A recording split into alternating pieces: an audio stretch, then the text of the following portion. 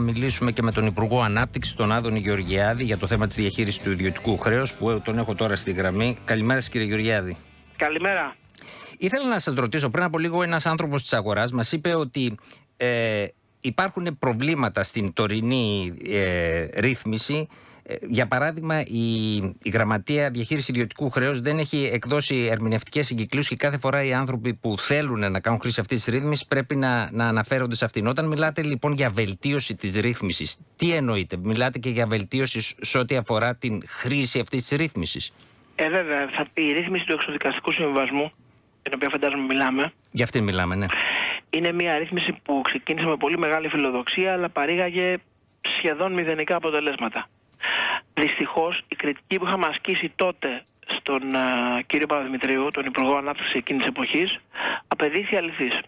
Από τις χιλιάδες των επιχειρήσεων που, που κάνανε την αρχική αίτηση και από τις περίπου 600 που την ολοκληρώσανε, λιγότερες από 50, αν θυμάμαι καλά 38, έχουν ολοκληρώσει τη διαδικασία. Ε, Όπως καταλαβαίνετε, αυτό είναι ένα ελάχιστο ποσοστό, άρα το, ο μηχανισμός όπως έχει στηθεί δεν λειτουργεί. Κατά συνέπεια, έχουμε συστήσει μια ομάδα εργασίας εδώ, στην οποία συμμετέχει ο ΕΦΚΑ, η ΑΔΕ και οι τράπεζες και το Υπουργείο Οικονομικών και το Υπουργείο Ανάπτυξης για το πώς θα μπορούμε να φτιάχνουμε μια ρύθμιση που θα λειτουργεί.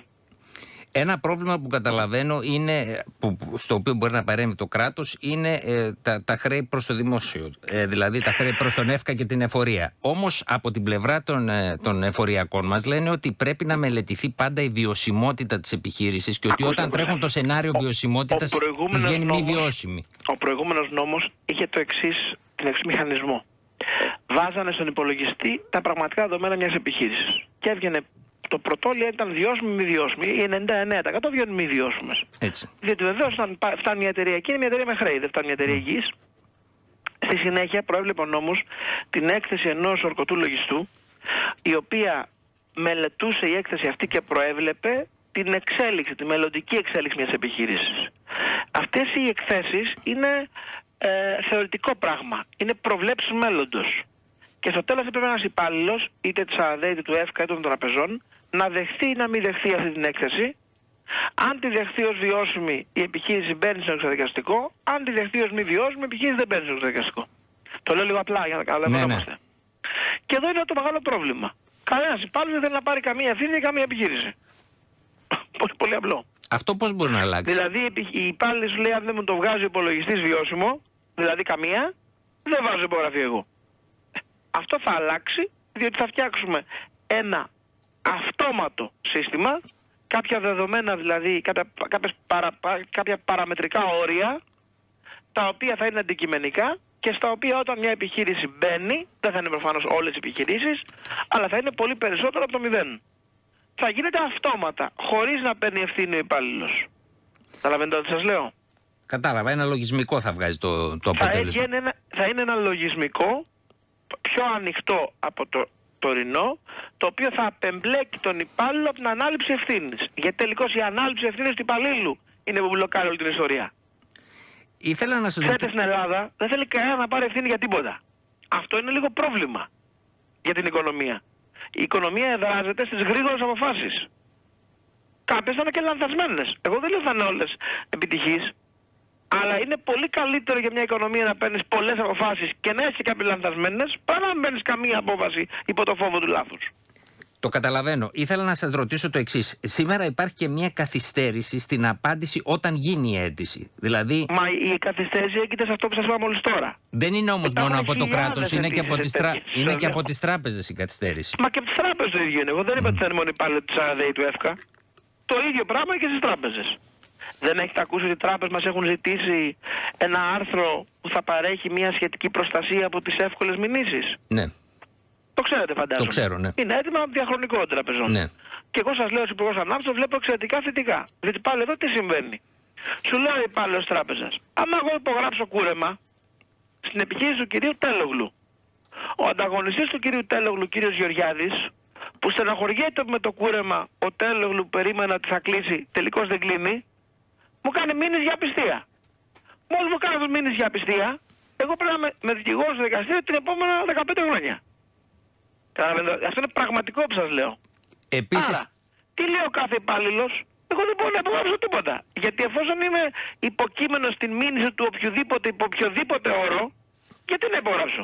Για να κάτσω να βάλω το κεφάλι μου τον τορβά; Καταλαβαίνετε; Το καταλαβαίνω. Ένα, επίσης... Άρα και εκεί πρέπει να φτιαχτεί ένα θεσμικό πλαίσιο που θα επιτρέπει από τις εμφανώς κακόβουλες ας πούμε μηνύσεις να μπορεί ο άλλος να κάνει δουλειά του.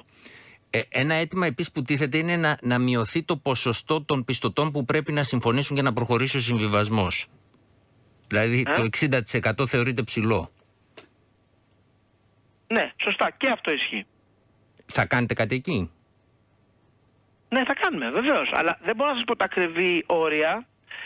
Ε, δεν μπορώ να σας πω τα ακριβή όρια για τον εξής λόγο. Διότι αυτά, αυτή είναι η συζήτηση που γίνεται τώρα. Πότε νομίζετε ότι θα έχετε ολοκληρώσει αυτή η συζήτηση; Ε, μέχρι τέλος Σεπτεμβρίου θα είμαστε έτοιμοι. Και, ε, κύριε Γεωργιάδη, ήθελα να- να εκμεταλλευτώ την ευκαιρία και να σας κάνω και μια ερώτηση για την κυρία Θάνου, γιατί είναι το θέμα της ημέρας. Είναι η τελευταία ερώτηση που κάνω πρέπει να φύγω. Βέβαια. Έχω Τε- να πάω σε μεγάλο Μαξίμου και δεν μπορώ να στήσω τον κύριο Πρωθυπουργό. Είναι έτσι κι αλλιώς τελευταία. Ναι. Ε, τι θα κάνετε με την κυρία Θάνου; Η κυρία Θάνου είπε ότι δεν παρετείται. Τι είναι, τι θα εσείς, κάνω; εσείς, πρέπει, εσείς πρέπει να υλοποιήσετε την, την, Θα εκδώσω την μια πρόνοια του. διαπιστωτική πράξη μόλις ψηφιστεί ο νόμος, όπου θα διαπιστώνω ότι με λύπη μου μεγάλη η κυρία Θάνου και ορισμένοι άλλοι στην Επιτροπή Ανταγωνισμού εμπίπτουν στα σχετικά συμβίβαστα. Ξέρω ότι είναι μια σκληρή στιγμή αυτή, αλλά πρέπει να τη ζήσουμε. Σας... Τώρα για μιλήσω τώρα σοβαρά, εμένα με ξεπερνάει η ιδέα ότι η κυρία Θάνου θεωρεί τον εαυτό της αναντικατάστατο. Σας μιλώ ειλικρινά. Είναι μια κυρία που έκανε μια μεγάλη σταδιοδρομία στο δικαστικό κλάδο. Μάλιστα. Έφτασε τιμήθηκε στους αδέλφους του και ξελέει και πρόεδρο ενό δικαστών και εισαγγελέων και έκανε και μια μεγάλη καριέρα και εκεί. Καμία αντίρρηση. Έφτασε να γίνει πρόεδρος του Αρίου Πάγου. Προφανώς με κυβερνητική απόφαση. Λέει η ίδια στην ανακοίνωσή της και την είπε στη Βουλή, όλοι οι πρόεδροι του Αρίου Πάγου γίνονται με, με κυβερνητική απόφαση. Σωστό. Σωστό. Δεν ήρθαν όλοι από τη θέση 9 στην πρώτη, γιατί η κυρία Θάνου λέει τη μισή αλήθεια. Η ολόκληρη αλήθεια είναι ότι η κυρία Θάνου ήταν η ενάτη στη σειρά για να γίνει πρόεδρος του Αρίου Πάγου επί Αλέξη Τσίπρα. Προσπέρασε 8 αρχαιότερους και εγώ θα πω εξίσου αξίους με αυτήν συναδέλφους της. Άρα προφανώς έχει μια πολύ μεγάλη κυβερνητική εύνοια. Αυτή η κυβερνητική εύνοια που δεν είναι συνήθι, γιατί δεν συνηθίζεις να παίρνεις τον 9 να τον βάζεις πρώτο, έτσι, συνεχίστηκε με τις υπηρεσίες που έδινε η κυρία Θάνου στον κύριο Τσίπρα στο Μέγαρο Μαξίμου. Και στο τέλος αυτή η κυβερνητική εύνοια ολοκληρώθηκε με το να διοριστεί η κυρία Θάνου σε μια πολυετή θητεία, σε μια ανεξάρτητη αρχή, την ώρα που η κυβέρνηση έφευγε. Γιατί όλοι ξέραμε ότι η κυβέρνηση έφευγε. Αυτό έγινε τον Ιανουάριο, όταν είχαμε ευρωεκλογές το Μάιο.